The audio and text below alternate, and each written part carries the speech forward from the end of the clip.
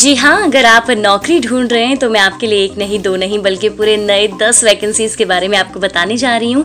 इसीलिए आप इस इन्फॉर्मेशन को गौर से देखिए और इस पर अमल कीजिए। हो सकता है आपको इनमें से कोई नौकरी मिल जाए। जी हाँ सबसे पहली वैकेंसी है दिल्ली पुलिस में। यहाँ पदों की संख्या तिरपन सौ है। पद का नाम है कांस्टेबल। आवेदन करने के लिए अंतिम तारीख है 30 अगस्त 2019 आवश्यक योग्यता है किसी भी मान्यता प्राप्त विश्वविद्यालय से उम्मीदवार के पास बारहवीं पास होने के प्रमाण पत्र होना चाहिए। आवेदक की आयु 18 से 28 होनी चाहिए और मासिक आय इक्कीस हज़ार से पच्चीस हज़ार पाँच सौ चालीस रहेगा। आवेदन करने के लिए योग्य उम्मीदवार www.delhipolice.in पर जाकर आवेदन कर सकते हैं।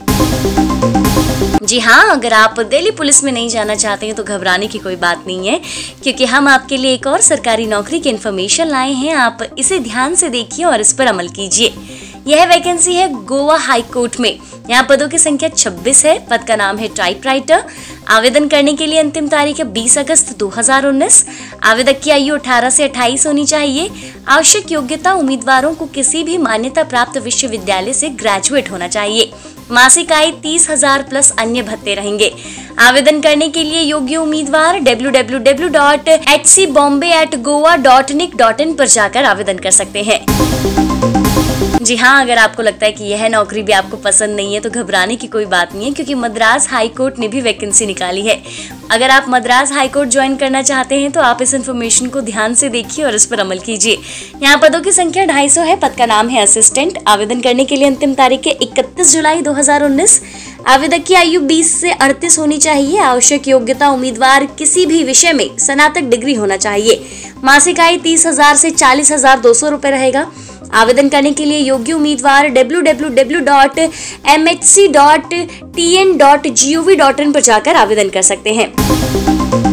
जी हाँ अगर आपको लगता है कि यह नौकरी भी आपको पसंद नहीं है तो आप विक्रम साराभाई अंतरिक्ष केंद्र, यानी कि वीएसएससी भी ज्वाइन कर सकते हैं।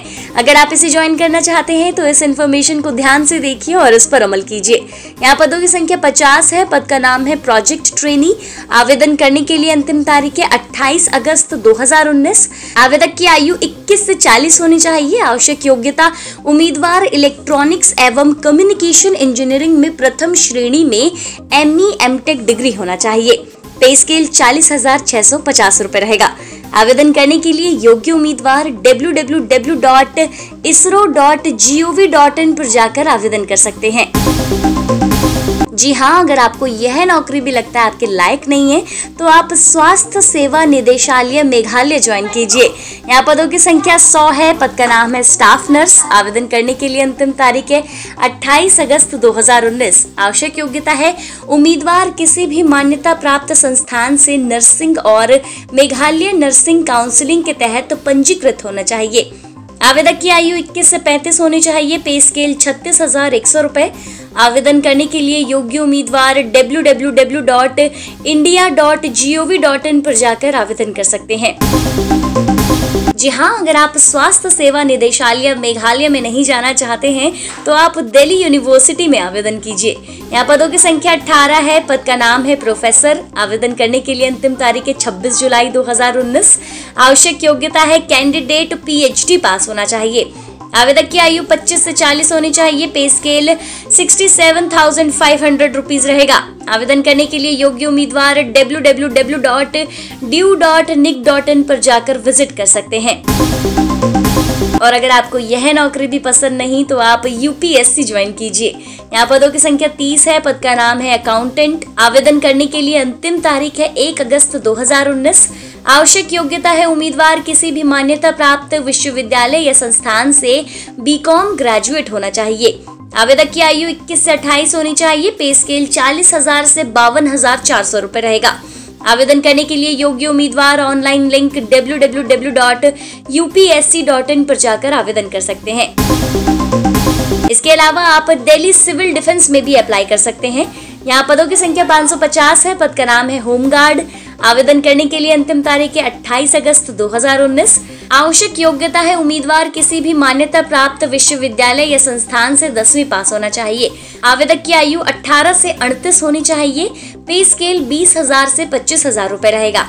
आवेदन करने के लिए योग्य उम्मीदवार www.civilhyphen-defense-form.pdffiller.com पर जाकर आवेदन कर सकते हैं।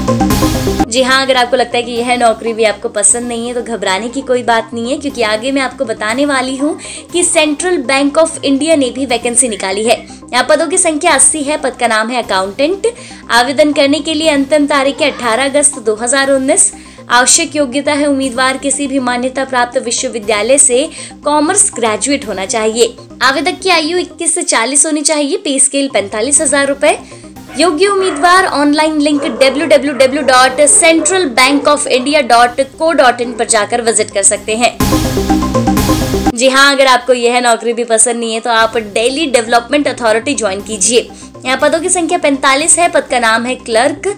आवेदन करने के लिए अंतिम तारीख है 21 अगस्त 2019 आवश्यक योग्यता है, उम्मीदवार किसी भी मान्यता प्राप्त बोर्ड या विद्यालय से बारहवीं पास होना चाहिए। आवेदक की आयु 18 से 30 होनी चाहिए, पे स्केल इकतीस हज़ार रूपए।